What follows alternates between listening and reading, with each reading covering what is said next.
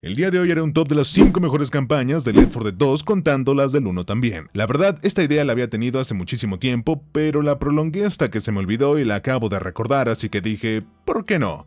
Vamos con este top. Solo recuerden que es mi opinión. Si no les parece, tienen los comentarios para dejar la suya. Solo recuerden ser respetuosos.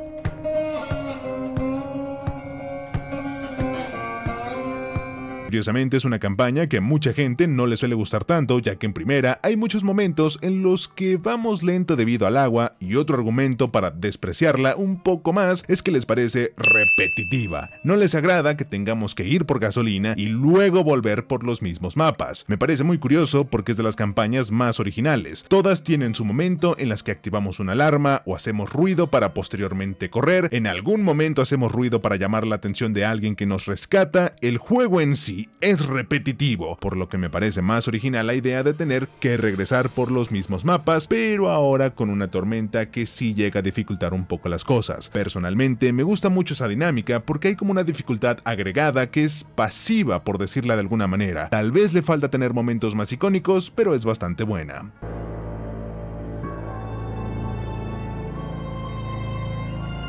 Primera campaña de toda la historia de Left 4 Dead y sigue siendo una de las más jugadas con justa razón. Tiene momentos muy icónicos, solamente el inicio ya es apreciado por todos. Tener que pasar por el hospital y sobre todo el final puede llegar a sentirse bastante épico, como esperamos a que el helicóptero nos rescate. Si bien es algo que se repite constantemente en ambos juegos, el hecho de que suceda en una azotea con el peligro de morir lanzados por un tank tal vez lo hace emocionante y obviamente no se puede quedar fuera del top por el simple hecho de ser la primera. Es definitivamente una excelente manera de iniciar.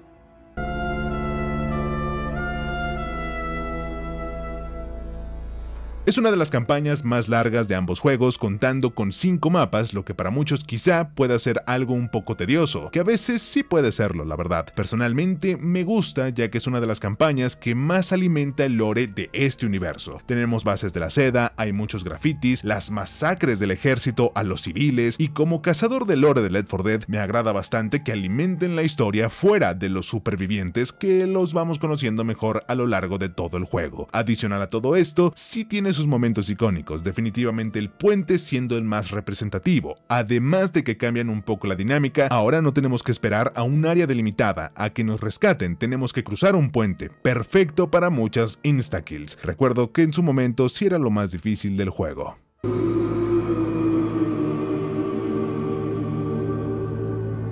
Tal vez para muchos esta es la favorita. A nivel canónico, Bill es el que se sacrifica, pero parte de lo interesante de esta campaña es que en el último mapa sí o sí uno de los jugadores tiene que bajar para ayudar a los demás, sacrificando su vida puede ser con cualquier personaje, lo que se puede volver tanto divertido como estresante dependiendo de cómo lo veas. Pero en sí la campaña es corta, es emocionante y honestamente de las más difíciles. Hace mucho no la juego porque en Versus es otro pedo, pero definitivamente merece estar en este puesto o incluso el primero, pero hay una que ya tiene ese espacio en mi corazón.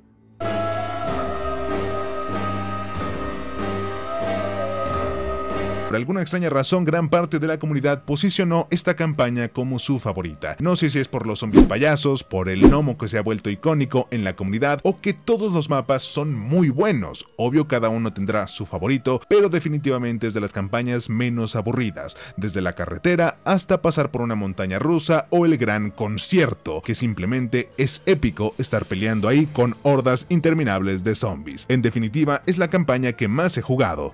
Tiene algo que ha enamorado a media comunidad. Luego, si sumamos el remix, que es una campaña de ampliación, abre bastante las posibilidades. Es el mapa meta. Pero me gustaría saber qué es lo que opinan ustedes al respecto. ¿Cuáles son sus campañas favoritas de ambos juegos? Déjalo acá abajo en los comentarios. Bueno, no olviden seguirme en mis redes sociales como Instagram, mi grupo de Discord, mi canal de Twitch, mi página de Wattpad, mi canal de TikTok, todos los links acá abajo en la descripción y en el primer comentario. A mí no me queda nada más que decir más que adiós, así que adiós.